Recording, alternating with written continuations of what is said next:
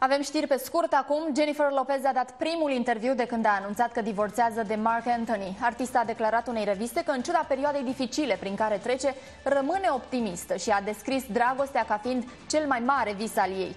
Jennifer se află la al treilea divorț, însă asta nu împiedică să rămână o romantică incurabilă. În perioada imediat următoare însă, artista vrea să se concentreze pe creșterea celor doi copii și pe carieră.